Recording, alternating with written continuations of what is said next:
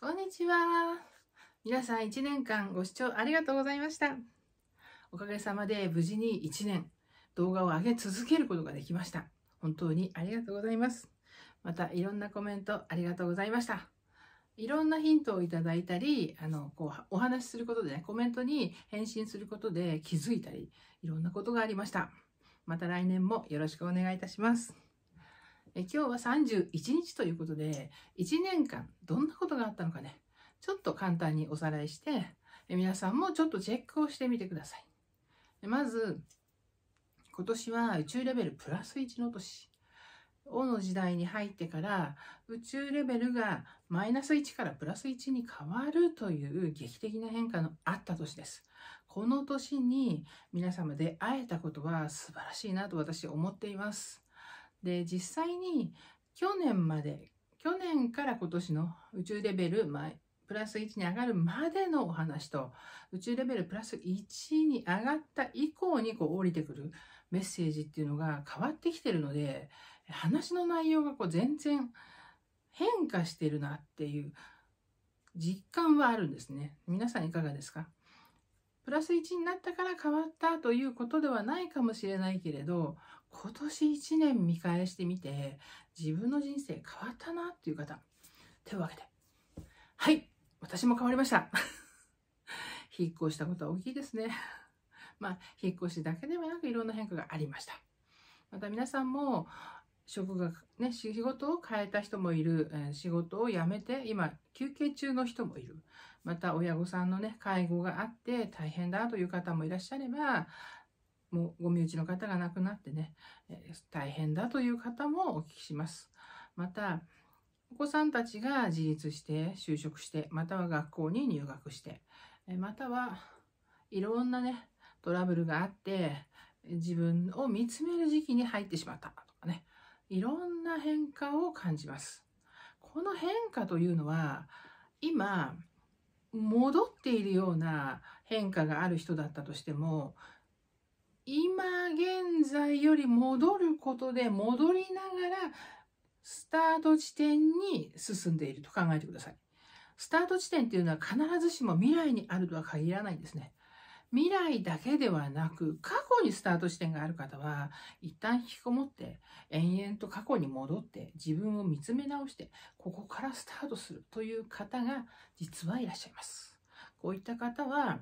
今、自分が進むのをやめてね、停止している状態に見える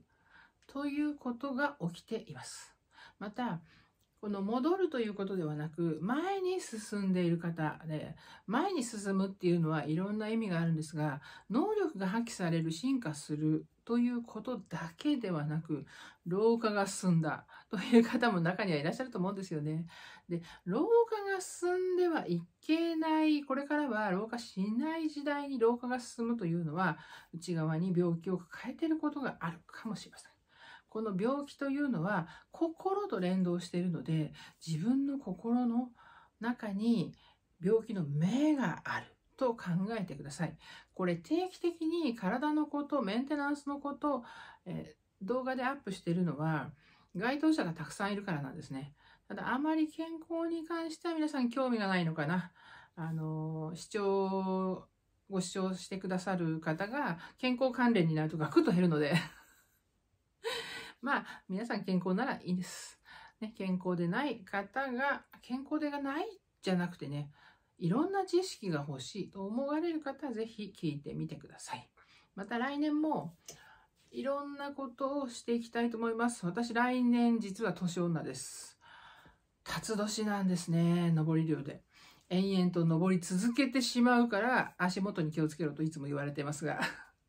何かプラスのことがあればいいなと思っています。来年のお誕生日はもうエネルギーマックスなので、皆さんに動画を通して、ね、振りまきたいなとも思っています。まだ、えっと、自宅の方での、仕事の方での準備ができてないので、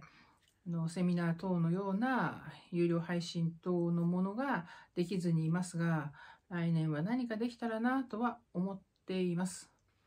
で、今年1年通して、やはり苦しさをどうやって変えていくのかというお話から、今何が起きてるのかというお話に変わってきたと思うんですね。で、この一つ一つをチェックしてもらったら劇的に変わっていくんですが、まあ、ざらっと見て、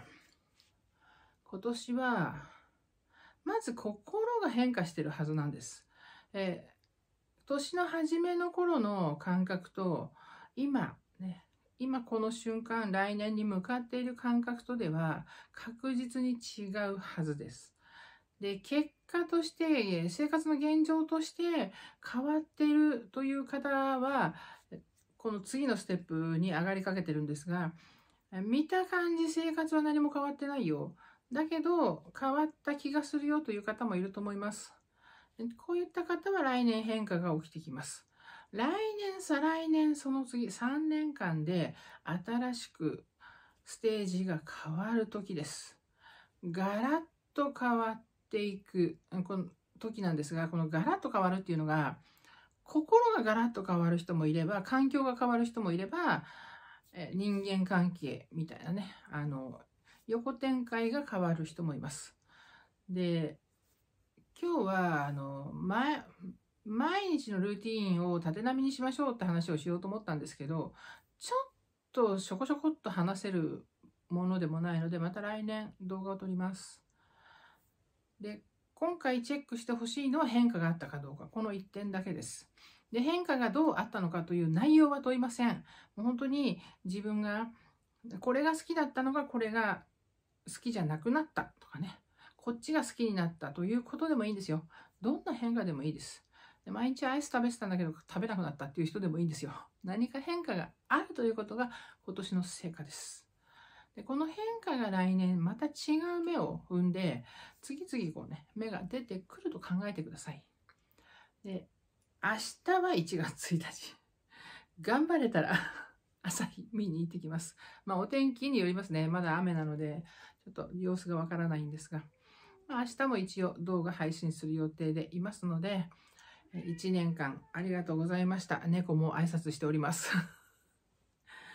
えー、いろいろ動画の中にね、あの、猫が登場してきて、すいません。また泣いてます。来年もよろしくお願いしますというね、ご挨拶をしているようです。では、今日はここまで。1年間ありがとうございました。またね。